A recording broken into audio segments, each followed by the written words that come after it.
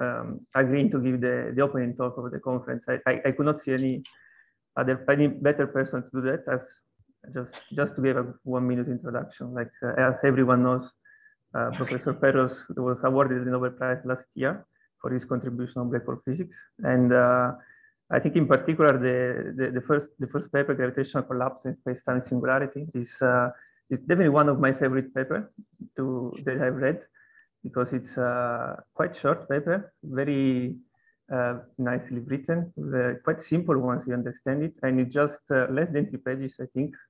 Uh, it completely um, completely changed the, the course of one uh, field of research. I don't think this is uh, this applies to to many other papers.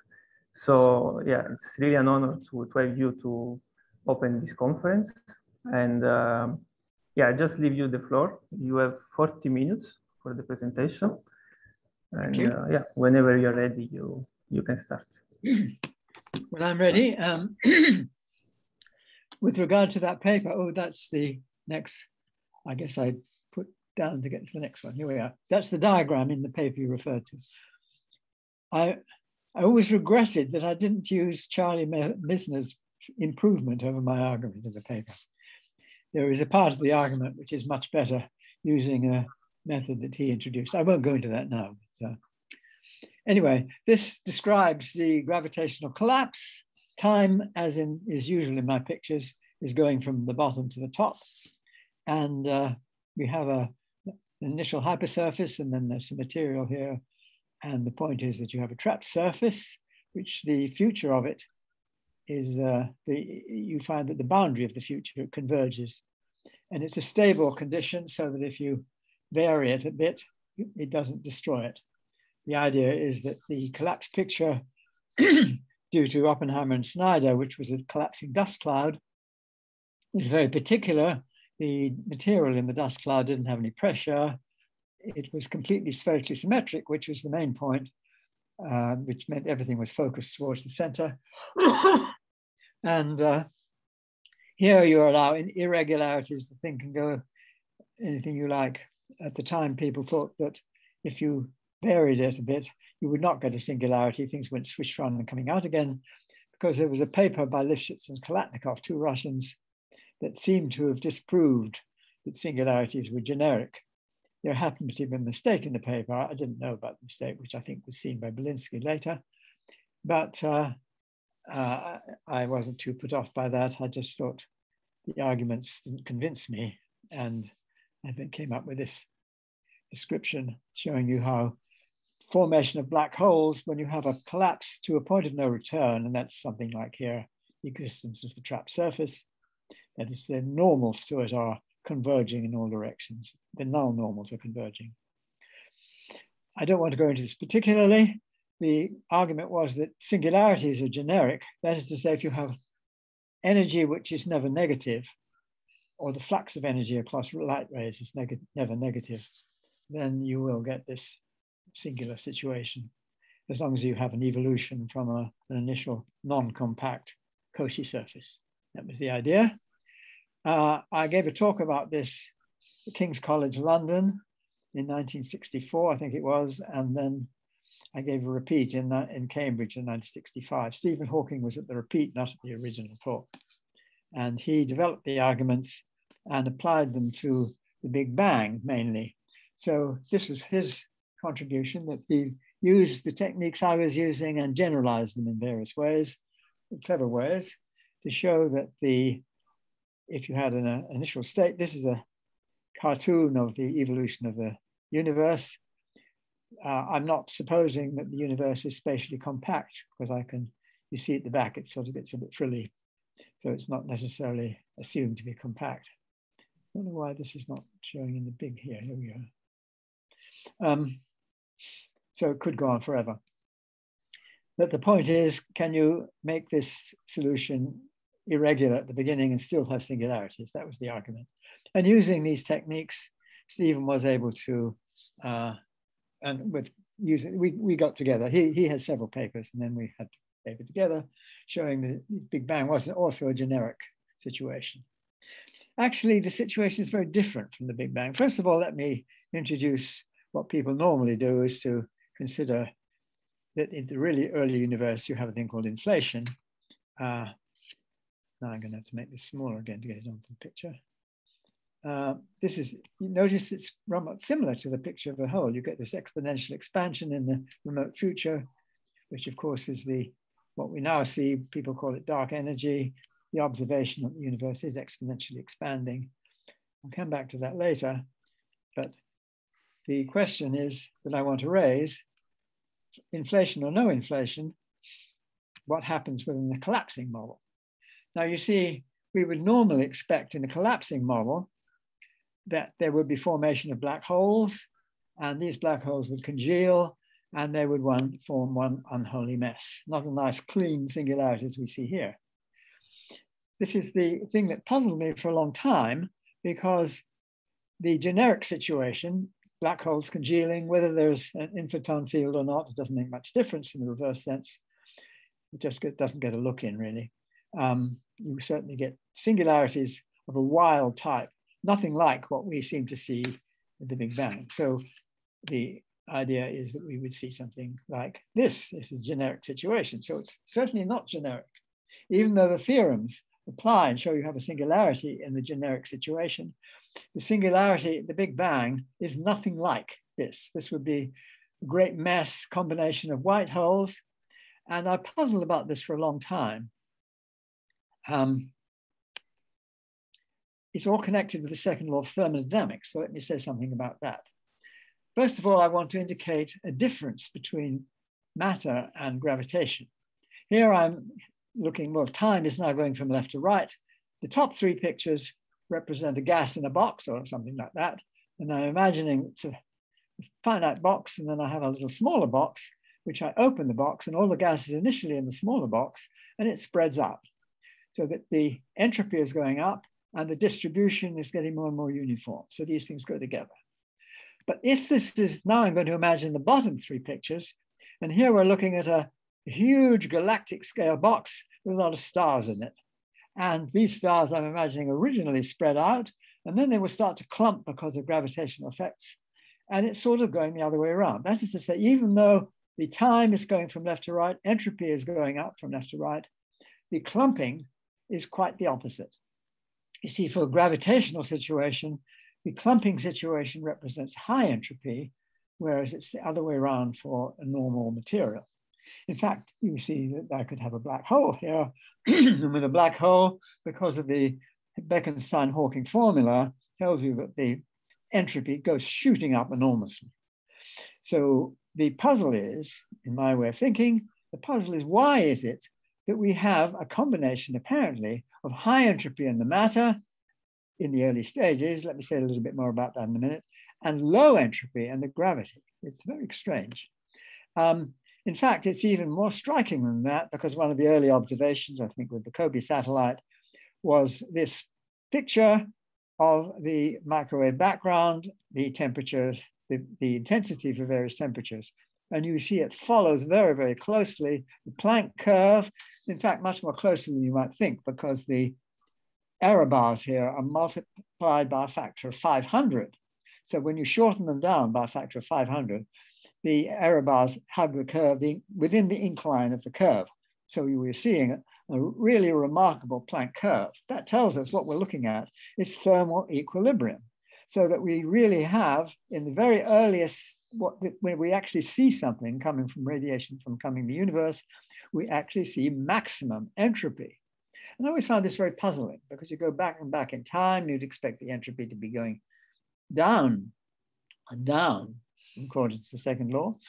You go down and down until the earliest thing you can see it's at a maximum. Of course, you might say the expansion of the universe is doing something. It's, it's not really, it's not altering the picture here. We do have a maximum entropy state of the material. However, it's not telling us that the gravity, which is the key thing, is very strictly low, it's very uniform. Now, one way of saying it's uniform and I'll come back to that. You see, here we have a situation it's not like. In singularities in the future, what you have is it could be still vacuum, but you have the Weyl curvature, which is the part of the curvature left when you take up the the part due to the matter. I'll say a little bit more about that in a minute.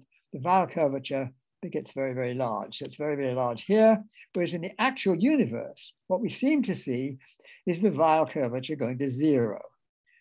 In the Big Bang models that people discuss in cosmology all the time, you have something where the Weyl curvature is certainly zero. It's conformally flat, which means the Weyl curvature is zero. Weyl curvature is the conformal curvature. Let me say a little bit more about the Weyl curvature. Here I'm imagining an observer looking back. These are the light rays into the observer's eye and you see the two forms of curvature, the Ricci curvature, it's actually the trace-free part. The scalar curvature doesn't affect the light rays, but the Ricci curvature produces this focus, positive focusing, light rays bending inwards, whereas the Weyl curvature is this complete distortion. That is to say, it's as much, it's stigmatism. You have as much inward focusing as you have outward focusing. And this is, distinguishes the Weyl curvature from the Ricci curvature. The Weyl part is the conformal part. You can't get rid of it by conformal scalings. I'll say a lot more about conformal transformations shortly. Another way of thinking about it is the early observation of the uh, sun's distortion of the, of the field, the distant field of stars, and you could see the circular pattern would be distorted into an elliptical pattern because of the bending of the light, it makes the signals seem to be a little further out because of the sun's field. And this pushes everything outwards. Of course, it pushes it out a little bit less for the more distant part than it does for the earlier part, whereas the radial parts of it gets extended outwards. So you see the circular shape becomes elliptical. That's exactly what I'm talking about. And in the case of um, material dropping, you can see the Weyl curvature also affects time-like rays, giving you this distortion effect. Now, I must, the point I'm trying to make here is that there is something very strange about the initial state of the universe. That is that the singularity in the Big Bang is really very, very unlike the singularities in the Big Bang. Sorry, in, in the singularities in black holes. Singularities in black holes and as the corrected version of the Lifshitz and Khalatnikov paper, the Belinsky Lifshitz Khalatnikov paper, and Charlie Misner also had discussion of these things, you seem to get Weyl curvatures in the generic situations absolutely going wild, which is what we expect. Weyl curvature going wild and collapse, whereas in the Big Bang, it's zero. Now you see, most people would tend to think that how do you deal with the singularities in cosmology or in black holes? Well, the singularities are places where the curvature gets very, very large. The radius of curvature gets very, very small. Eventually, we'll get down to the Planck scale of radius of curvature, which 10 to the minus 43 seconds, if you like, if you're thinking of times, 20 orders of magnitude smaller than a, than a radio, radius of a proton or something like that, 10 to the minus 33 centimeters. And at that scale, you might expect quantum effects dominate. So that's the usual point of view, is the singularities, if you like, in a physical situation would really be dominated by quantum gravity. Now, this is what I believe too. It's a normal belief people had.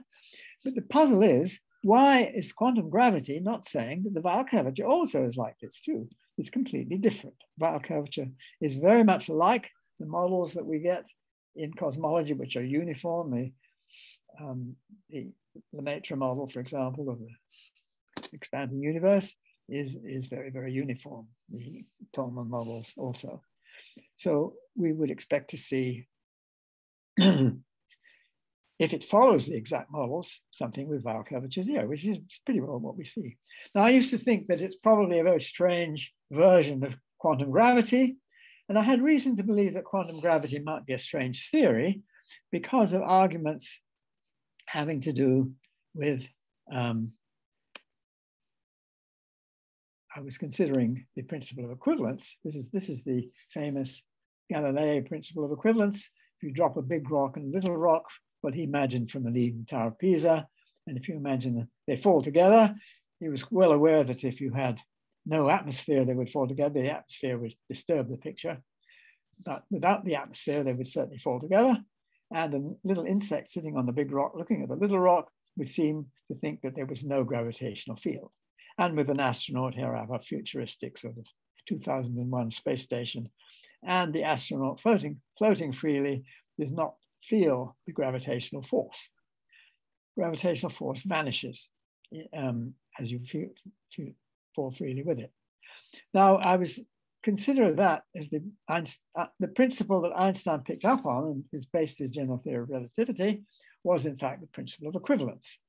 Now here is an argument which I produced to show that the principle of equivalence and the principle of um, superposition in quantum mechanics are really incompatible.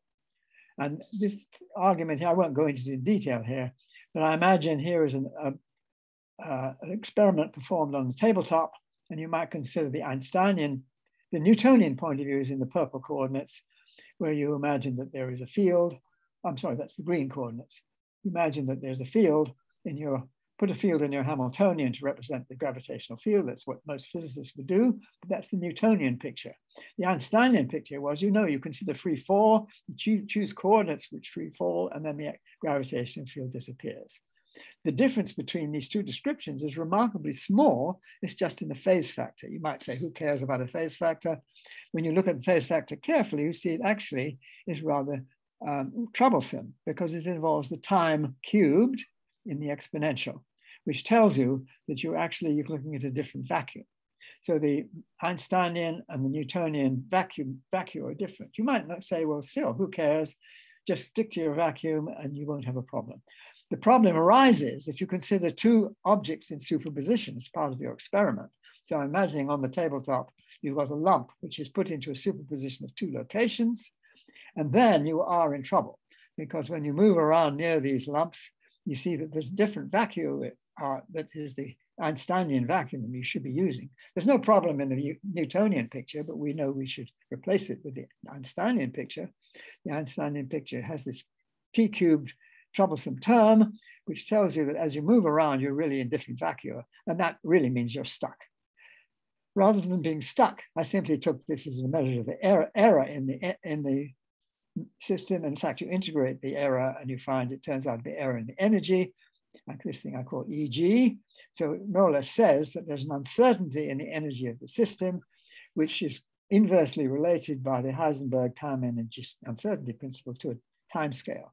So I say the collapse of the wave function is a feature of trying to put gravity into quantum mechanics. So this, my point of view was that really, yes, maybe it is a funny kind of quantum mechanics to deal with the singularities, but it's got to be a quantum mechanics which modifies, is modified because, because of the gravity effects on quantum mechanics, not by the quantum effect on gravity, which is quantizing gravity, but the gravitational effect on quantum mechanics, which is the gravitization of quantum mechanics, which the argument is which bring the collapse of the wave function into it. I don't want to go into that anymore because I could never do anything with it. It was just my reason for thinking maybe that's the way that you have different. I couldn't still see why it gave you a time asymmetry. And it was really Paul Tod, who was a initially a graduate student of mine, and he had another way of looking at it. Let me talk about that here. The point of view is that we think of, of the physics more from a conformal point of view. And it's useful. I've been doing this myself for looking at radiation. And it's useful because in a conformal picture, that is to say, you throw away the, the scale of the metric, you just look at the, the, the, the ratio of the components, if you like, in the metric. And here we have a nice picture due to the Dutch artist M.C. Escher of a conformal geometry, happens to be hyperbolic geometry, don't worry about that. But in this picture, you see these fish inhabit this, this geometry and its conformal representation, you see this particularly well with the eyes of the fish. They're circles and they remain circles no matter how close to the edge you get. So although there's a bit of distortion, the angles, the angles on the wings of the fish or the fins or whatever they are, the closer you get to the edge, the angles remain the same so it's conformal. That means angles are preserved, small shapes are preserved, but you could squash them down. And in this Beltrami picture, you get the, uh, or Poincare disk, as it's sometimes called, Beltrami was first.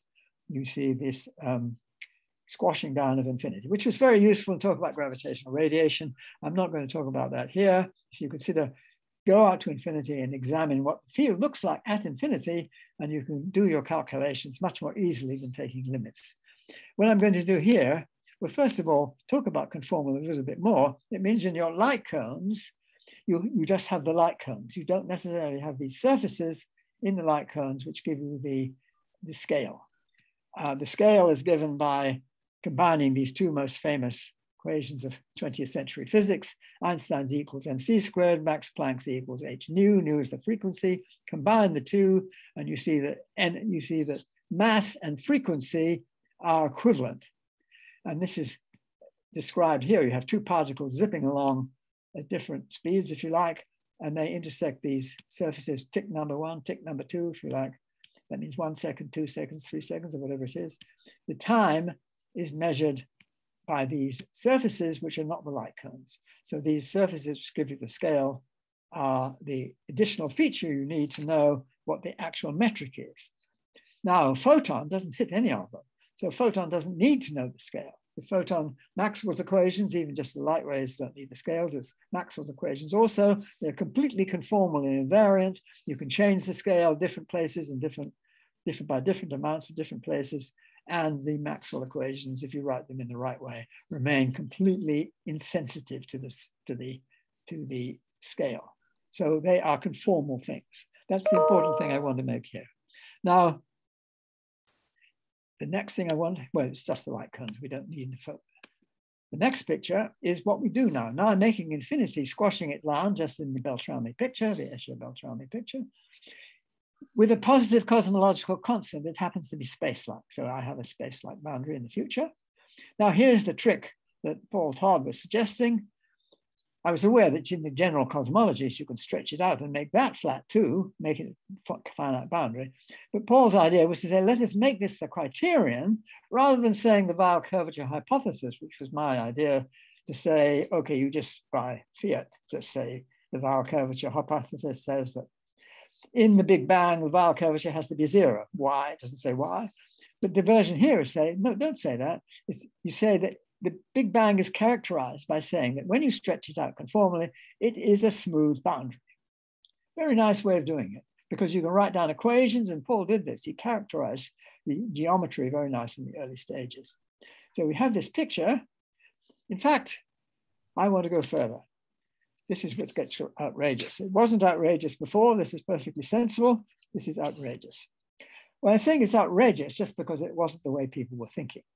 What I'm saying is that stretched out Big Bang is really the continuation of the squashed down infinity of a previous eon. This could be our eon, what we think of as our Big Bang, that's our remote future.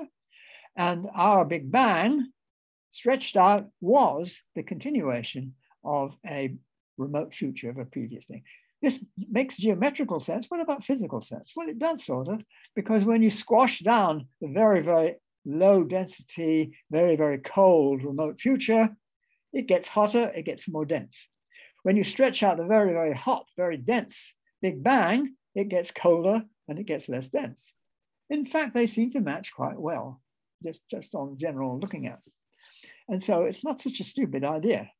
And if you have massless things in the remote future, you might say massless particles are dominating the, the remote future. And these massless fields, if it's photons, yes, they would. Um, the Big Bang, you might say, what about the mass of particles in the Big Bang? Well, they hardly count. The mass hardly counts because when it gets very, very, very hot, the energy is almost entirely in the kinetic motion of the particles and their mass becomes totally irrelevant. So you could say that effectively they're massless at both ends. It's a bit of a stretch of the imagination, but that is the idea. And it goes further. You can get signals coming across if, if they were sufficiently low frequency electromagnetic, you could imagine them getting across, but primarily gravitational signals can get across. And in fact, there were idea that uh, you could actually see black hole collisions in the previous eon by looking at signals in the next eon. Our colleague uh, Vahe Gurzadyan did in fact do this. Here, this previous picture, you see the inter inter interesting thing here.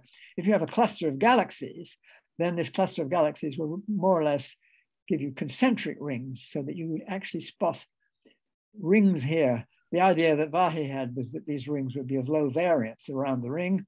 When you see them, this is the intersection of our pass cone with these rings, and you would see low variance rings. The signal is not strong enough unless you look at at least three of them with the same center. So that's what he did. And what you find is this remarkable picture. This is looking at the Planck data. These are signals of low variance where you're looking at least three rings.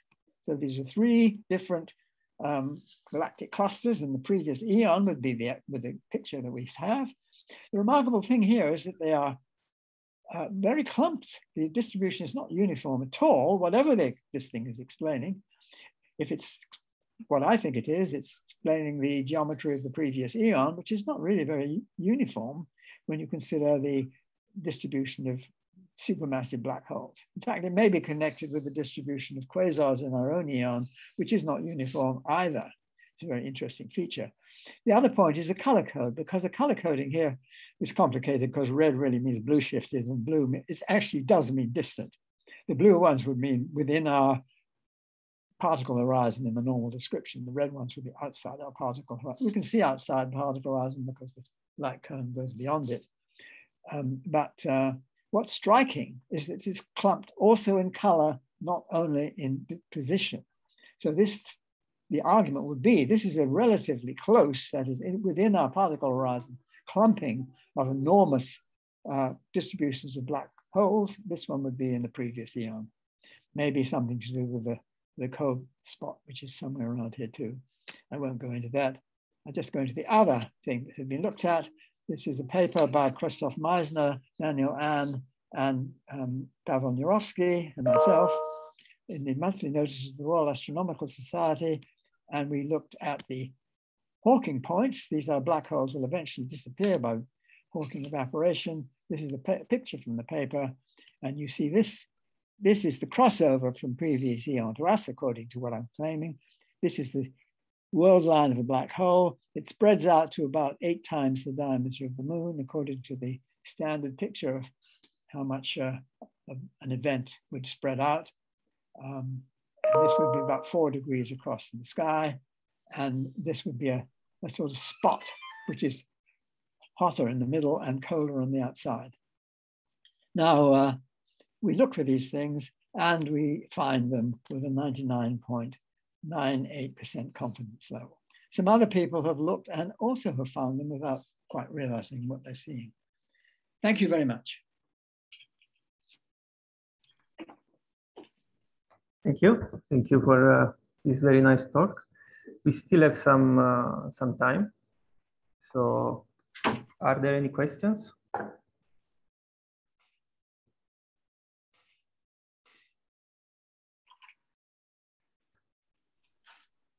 Sorry, I, just to, I just had to go out the door for a minute. ah, okay.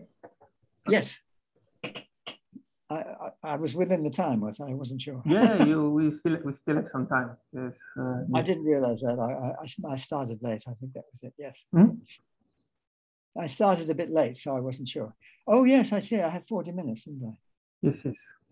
Well, I can I, I can illuminate any any points if people would like clarifications on these things. Yes, let's see if there are any questions. I don't see at the moment, but I have some, so it's fine. Okay, I see one. So from the chat, uh, maybe we, maybe I can read.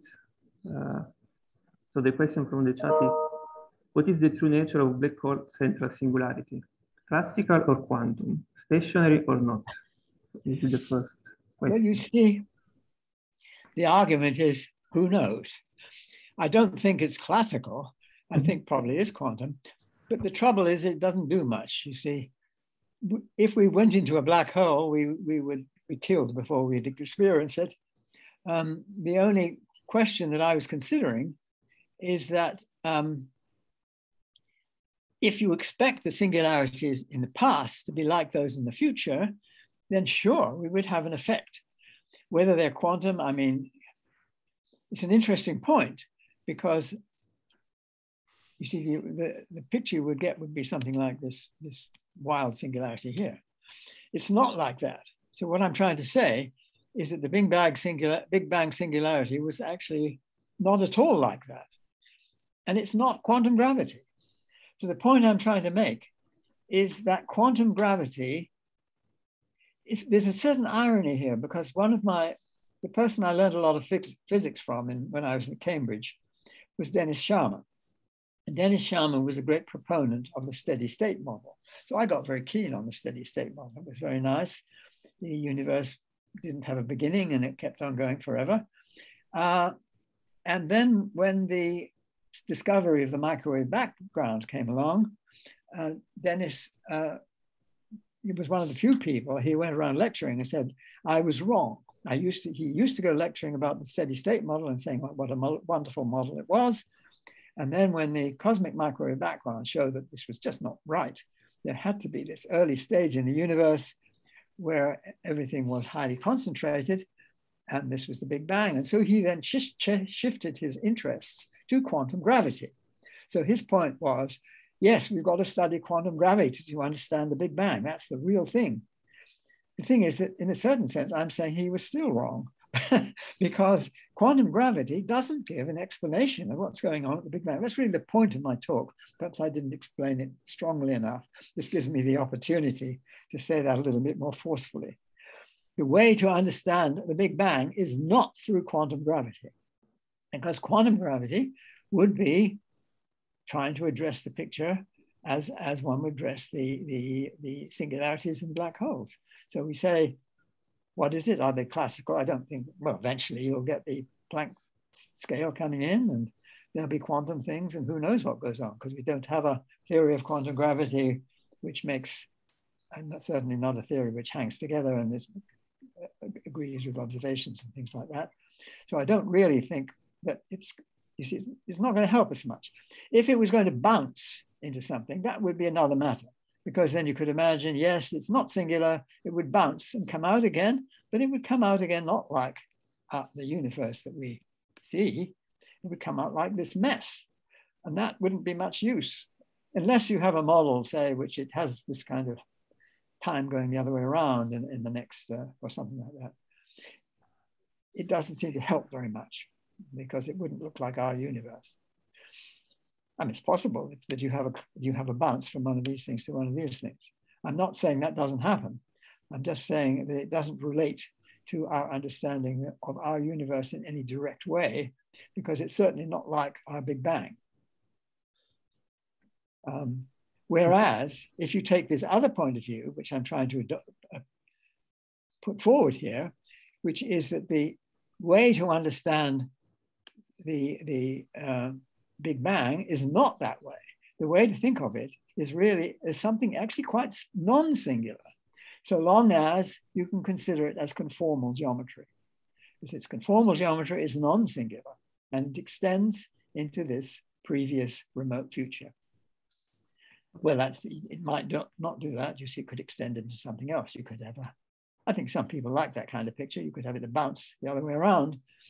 It, this picture I prefer because it, you see, if it bounced the other way around, it doesn't really explain why it happened to be this very special state, because it could, could be something else when it was in the past.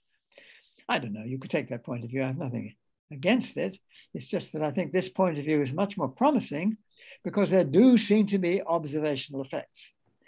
There's another thing I should mention and didn't previously. You see, you don't have any inflation in this picture what you do have is a sort of inflation because the previous eon, its remote future is an exponential expansion. So those features which seem to be explained by inflation, the argument here goes, is explained by looking, peering through, if you like, the Big Bang into this previous eon. And this most particularly gives you an explanation of why there is this scale invariance in the temperature variations in the microwave background. Because you, it gives you an explanation if you know where these variations come from. My view is where they come from is the decay of dark matter. If you go into the equations, you find that the thing which makes the equations work when you go from one side to the other is the creation of a whole lot of new material that wasn't there before which is a scalar material which interacts only gravitationally. So I claim this is dark matter. This dark matter starts out very uniformly. It will start to clump when there are other things and galaxies form and so on. It will also decay. the decay has to have a half-life of something like 10 to the 11 years. If you have a decay with a half-life of something like 10 to the 11 years, then in the next eon, let's imagine now the previous one, this eon will have decaying dark matter.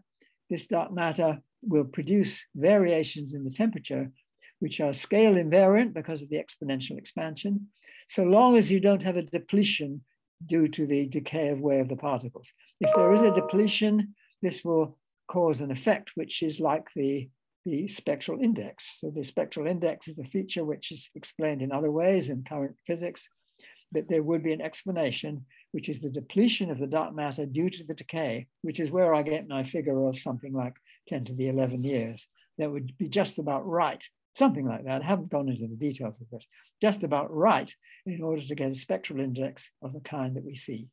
So that's one thing you might explain, the collisions between galactic galaxies, galactic galaxies, galactic clusters where you have supermassive black holes colliding. One seems to see an effect of that nature with the Vahe's discussion, discussion here. A lot of people have complained about the analysis, but, but this is just, you just look at the picture here. There's nothing about the analysis. Uh, it's perfectly straightforward and that's what you get. And you have to complain about the picture here, if you like. Um, certainly, it's there was a paper. I haven't seen any paper which actually addresses the published paper in the monthly notices here. I've seen people which complain about it before it was published. That is to say, an earlier version, which was not the paper which was actually published. I've also seen a, uh, paper which sees the same effect that we do, although don't make much noise about it which is interesting too. So it does seem that there is this, these spots.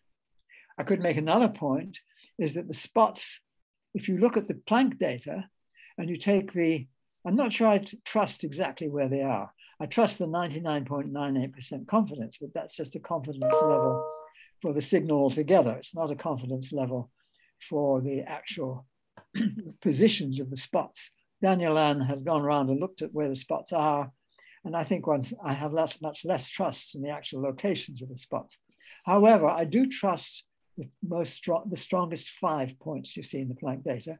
The reason I trust them is because if you look at the Planck data, you see them in exactly, sorry, if you look, this is, I'm talking about the Planck data, these five strongest spots in the Planck data are seen in exactly the same places in the W data. So that's why I trust them. They're in exactly the same places. There's also a sixth spot in the WMAP data, which is the sixth strongest, I think. And you look at that spot and it's also in the Planck data.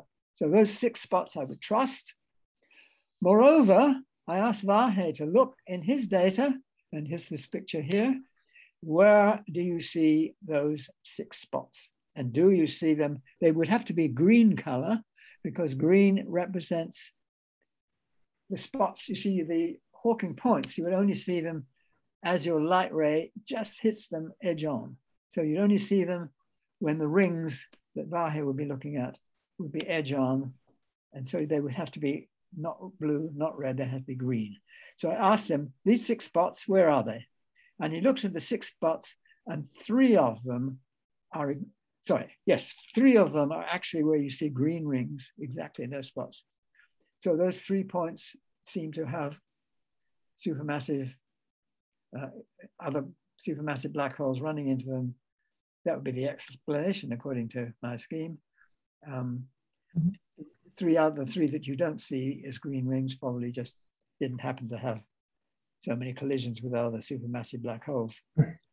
It's just that doesn't, I, I wouldn't attach too much significance to that, but it's interesting. It would be good to do a more a detailed analysis. I'm just trying to make the point that there are lots of things to do with this picture.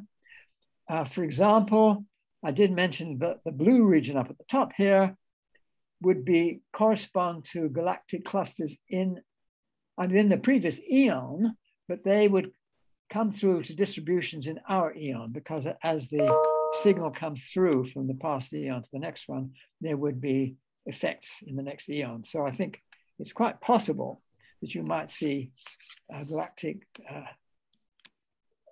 quasars or something. It's interesting that you do find somewhat close to this. I'm, I'm a little puzzled about it. It's about here, I think, about on the edge of the blue region. There is a very large quasar clumping in, it's the very, very, very large quasar clumping. It's the biggest one you find, apparently, in, in the, in our, that I'm talking about now observations within our eon, and we're looking at quasar, clumps of quasar, and, the, and the, there is a really big clumping, which is somewhere here. I'd be happier if it was right in the middle of this region. It's not. It's sort of on the edge of it, which is quite curious. Anyway, I just mention these things because I think there's an area here of research, not worth, it's not, uh, of course, within the normal scheme of things. It gives you a different picture from inflation.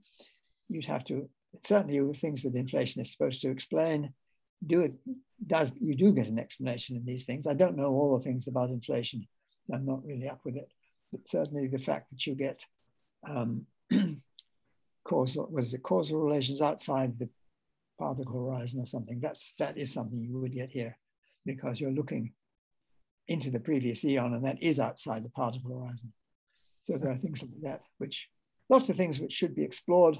And I really hope more people would look at it rather than dismissing it as, as uh, maybe something not believable. Thank you. Anyway, I'll, I'll stop this point. yeah, thank you for uh, for, uh, for the talk. And uh, there are actually several other questions, but uh, it's better, I think, to postpone them to the final discussion session.